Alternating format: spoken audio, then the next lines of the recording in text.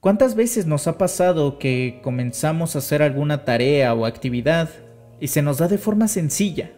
¿Cuántas veces nos ha tocado también que practicamos constantemente para alguna otra actividad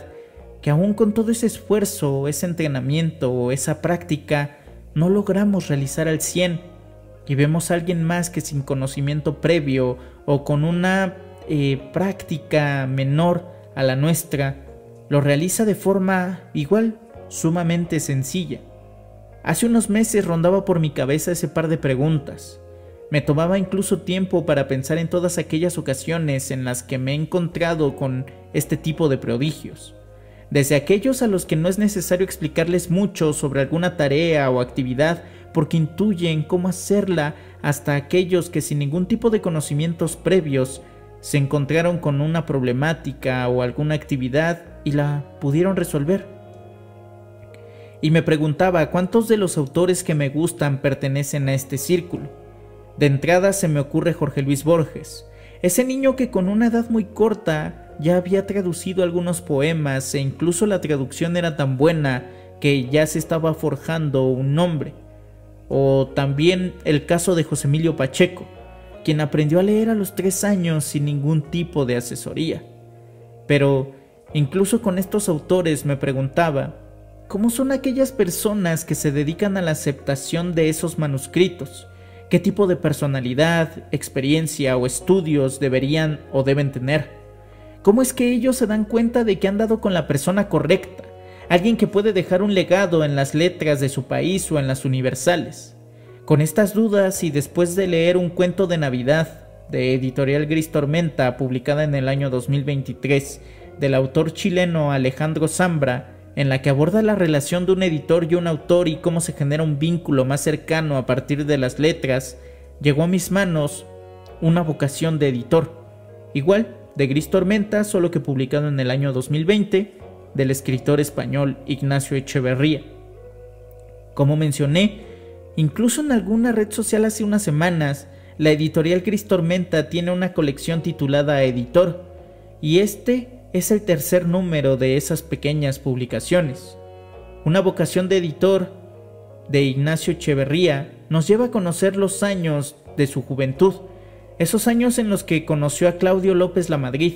el centro de este ensayo memoria sobre la vocación de entregar todo por las letras, acercándonos a sus tíos que se dedicaban a la edición de libros en el sello Tusquets Editores y que fueron incluso los fundadores, y ese momento en el que éste tuvo su boom con la colección Andanzas, publicando el libro El amante de Marguerite Duras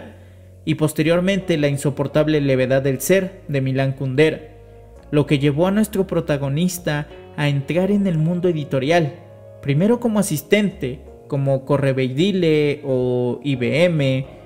hoy conocido como Home Office, para posteriormente adentrarse a la edición tipográfica, ortográfica, pruebas de imprenta y corrección de texto. Momento en el que nuestro autor entra a Tusquets Editores para comenzar a realizar actividades similares a las de Claudio, pero siendo este momento también donde los caminos de ambos se separaban para no poder encontrarse de nuevo en el mismo sendero. Ignacio entró como editor de mesa, sí, pero posteriormente este comenzó su carrera como reseñista mientras Claudio continuó como editor, llegando así a lo que en su momento fue Random House Mondadori, donde la lectura de manuscritos era mayor y ahí Echeverría nos cuenta sobre ese momento en el que los editores dejan de leer a los autores que les gustan para comenzar a leer a los autores que beneficiarán de algún modo los intereses y objetivos comerciales de la editorial porque, como dice Pilar Gordoa en El arte de conquistar lectores, las editoriales antes de ser productos o servicios culturales son empresas. Echeverría nos cuenta también que él tomó un camino distinto al de Claudio e incluso al de casi cualquier editor. Se fue como reseñista, medio en el que poco a poco comienzan a especializar a cada uno de los autores de textos ya sea en algún autor en específico, algún género en específico, o por la forma de su texto también los vuelven en reseñistas con un estilo muy específico, contrario a los editores que todo el tiempo reciben textos con diversas temáticas, autores, regiones e ideologías, llevándonos así a conocer los grandes logros y la vocación, al parecer de nacimiento, de Claudio López Lamadrid, quien a pesar de su distanciamiento social, su tendencia al silencio y la individualidad hacía sentir a los autores escuchados, queridos y animados, volviéndose, como menciona Zambra en un cuento de Navidad, un editor de esos que se convierten en hermanos mayores y están ahí para guiarte y escucharte. Ya en el año 2000, Bertelsmann compró y fusionó Penguin Random House, o mejor dicho, Penguin, con Random House Mondadori, para dar nacimiento al nombre actual de la editorial, Penguin Random House Grupo Editorial, lugar en el que a pesar de ser una empresa multinacional, le brindaron a la Madrid todo el tiempo, confianza y libertad creativa,